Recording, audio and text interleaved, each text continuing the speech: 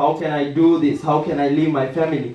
Matter of fact, Abraham had no idea what his future was going to look like.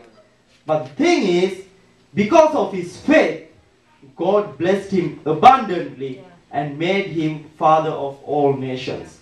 The thing is, as humans, we see for the moment, but the God, our Lord Jesus Christ, He sees everything. He sees your future. Right. So if He tells you to do something, you better do it. Even though you don't see the future, even though you don't have proof, if Jesus tells you, just believe it. Amen. John 20, verse 29 says, Jesus said unto him, Thomas, because thou hast seen me, thou hast believed. Blessed are they that have not seen and yet have believed. So if you have faith, you will be blessed.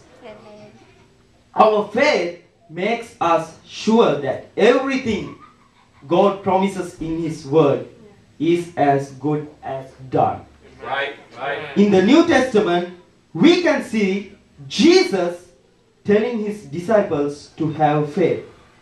When Jesus came to Bethany, when he was hungry, he saw a fig tree without any fruit. So he curses this tree. The Bible says, And Jesus answered and said unto it, No man eat fruit of thee hereafter forever. And his disciples heard it. So when they were returning the next day, when they passed by the fig tree, they saw the fig tree dried up from the roots. And Yeah. Peter calling to remembrance said unto him, Master, behold, the fig tree which thou cursest is withered away. And Jesus answering said unto them, Have faith in God. For verily I say unto you, that whosoever shall say unto this mountain, Be thou removed, and be thou cast into the sea, and shall not doubt in his heart, but shall believe that those things which he said shall come to pass, he shall have whatsoever he said. Therefore I say unto you, what things soever ye desire, when ye pray, believe that ye receive them, and ye shall have them. We can see Jesus talking to his disciples in parables. He said, Have faith as small as a mustard seed. Yeah. Have you seen a mustard seed? Mm-hmm. It's really small. You can barely see it. God knew. He didn't ask for us to have faith like a rock or like a giant tree or like something big. Right. He said, just have faith of a mustard seed. Right. Right. So he wants like a little bit of small faith, something very small. But the thing is, in Sri Lanka we have those mustard trees. Even though mustard seed, seed is really small, those trees are huge. The thing is, if we have little bit of faith, Yeah. we can do something huge. Yeah. Our little bit of faith can turn it into something really big. Yeah. Come on. Not only Jesus taught his disciples to have faith, Jesus gave the greatest example of faith from his own life. Jesus came to the earth as God in flesh. Yes, you did. John 1 verses 1 to 3 says, In the beginning was the Word, and the Word was with God, and the Word was God. The same was in the beginning with God. All things were made by Him, and without Him was anything made that was made. These are Jesus' words. In John chapter 5 verses 30 says, I can of mine own self do nothing. As I hear, I judge, and my judgment is just. Yeah. Because I seek not mine own will, but the will of the Father which had sent me. Jesus said, I seek not mine own will, but the will of the Father which had sent me. When Jesus was praying in Gethsemane, just before he was crucified, Matthew 26, verse 37 says, And he took with him Peter and the two sons of Zebedee, and began to sorrowful and very heavy. Then said he unto them, My soul is exceeding sorrowful, even unto death. Tarry ye here and watch with me.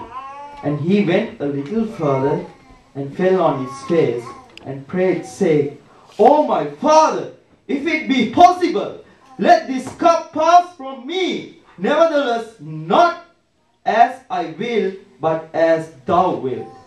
He went away again the second time and he prayed again, saying, O my Father, if this cup may not pass away from me, except I drink it, thy will be done. When Jesus first prayed, he when he prayed, he was hoping that God could make another way or a solution for salvation of man besides the horrible way of him dying on the cross or the crucifixion. But he realized that if he realized it had to be done God's way, his Father's will. Right. Jesus said, Your will be done. He didn't say, My will be done. He said, Your will be done. Jesus realized that God the Father knew what was best, and he had to have faith in God and do the Father's will. Right. If you want to please God, you have to have faith no matter what. Right. Not only it will please God, when you put your faith in Him, God can restore you. Your faith will make you whole. Yes. Very In Matthew chapter 9, when the woman with the blood issue, when he came to Jesus, she had so much faith. He had faith, she had faith. She thought, if I can just touch the garment of Jesus, I can be healed. Right. Her faith in Jesus gave her what she wanted. Jesus said, Daughter, be of good comfort, thy faith had made thee whole. And the woman was made whole from that hour. Yes. In the same chapter, if you go a few verses down, you can see, and when Jesus departed thence, two blind men followed him, crying and saying, Thou son of David, have mercy on us. Yeah. And when he was come into the house, the blind man came to him.